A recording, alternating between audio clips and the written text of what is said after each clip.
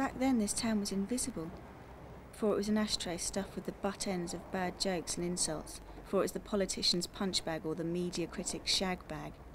Before Basildon was the undeclared capital of Essex and therefore populated with shell suited Tory voting street market traders. Before that. Back then, when? No one even knew we were here. Kept ourselves to ourselves. Didn't want to fuss. Didn't make no noise. One or two had a go. Bit of a shout.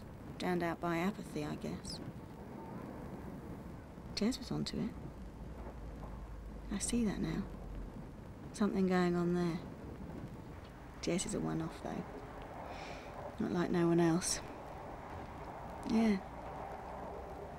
Jez had a crack. All right? No response. How's it going? He stared fixedly at his drink. No action, no response. Not a thought flickers. Stone me. Is this it? Flashing lights, sticky drinks, bit of a grope, and then you're dead. This can't be it. They stared at him as if he was from another planet. Little did they know. It's a home improvement. It improves the home. You buy a house, you improve it, you pass it on to your kids. Life gets better, that's the deal. My old man and his old man and his before him, they never dreamed they'd own their own home.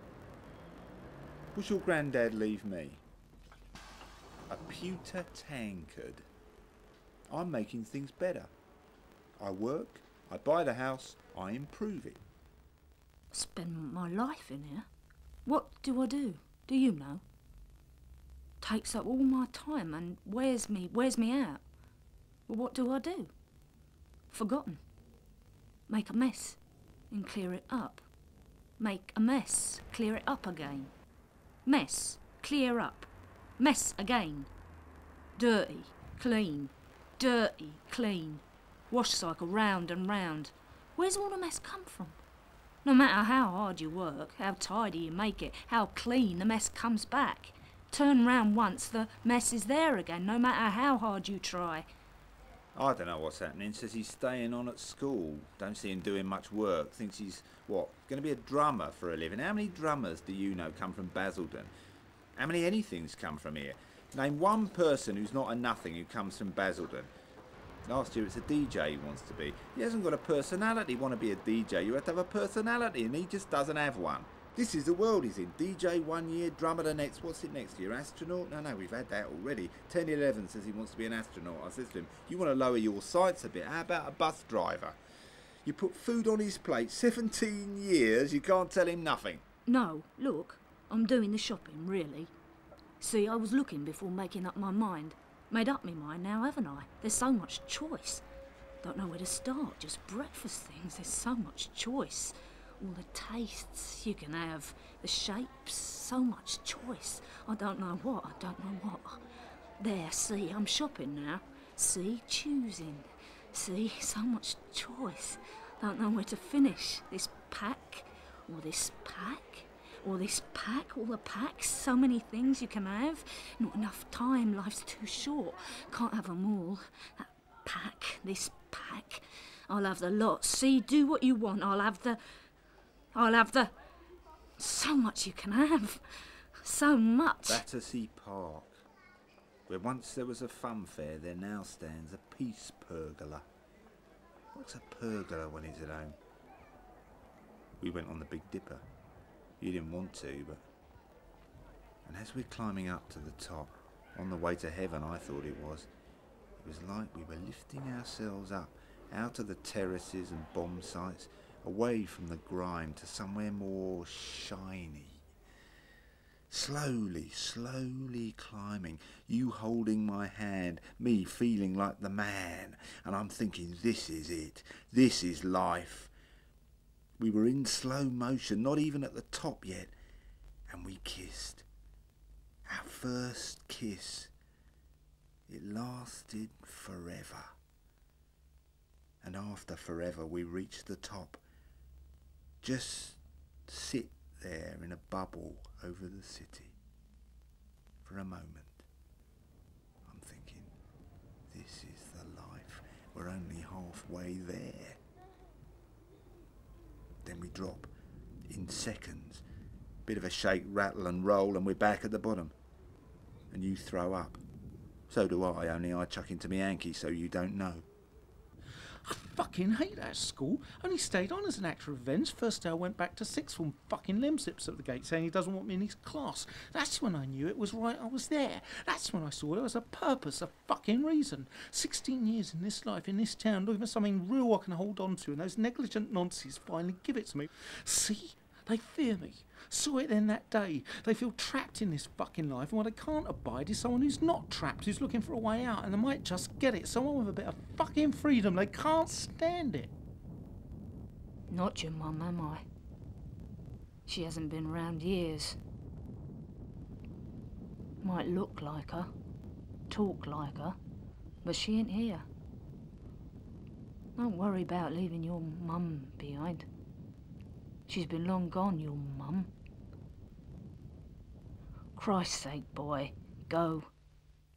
What are you doing in the living room? This is for living in. You're fucking dead. Dead people go somewhere else. The shed, the car, the park, shops. They don't bother living people. Living people too busy in the living room doing living things like watching the telly. Go on, get out of here. Fuck off, won't you? I want to live. I want to watch the telly. The vicar said, I said he wasn't religious, not in any way, never has been. He said it must be hard to understand. God, he said, moves in mysterious ways. To understand, he said, that what he was really saying. For your son to be killed by a lump of concrete falling from out of the sky, apparently, since no one on their Saturday shopping would ever, ever look up instead of at the pavement, ever see such a thing. For a son, a brother, a grandson, he said, an accident to happen, one so young that he, God, could allow it, even make it happen. He said it must be very hard to understand the purpose, he said, in all that, if it happens to be your son, your brother, your grandson. But rest assured, he said, that there is some grand purpose, that it all fits in with his, God's, design. And then he stuck him in an hole and went off for a cup of tea. I was confused until my brother died. Then I saw the confusion was none of my fault. The place where I grew up was a total cunt of a town. It did you down. It kept you down.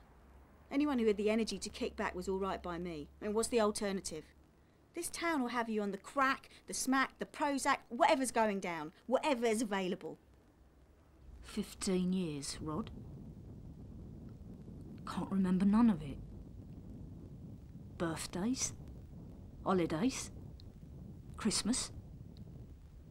Gone. I- done their washing. I cooked their meals. In a fashion. Never saw 'em growing, though. Were there good times? Where's the fun? Can't be all pain, can it? Come out the womb crying, don't we, not laughing? Were they happy? Did we do all right? Rod? Basildon, I hate you. But you're a part of me. So, though I hate you, I will defend you when attacked. When some gob starts spewing rant against Essex girls, starts mouthing off about a town they've never even seen, I will defend it. Because I have to defend that bit of me that's rooted in the concrete here. If I didn't defend it, I would die. If I didn't hate it, I would die. Basildon, I hate you. Because I have the right.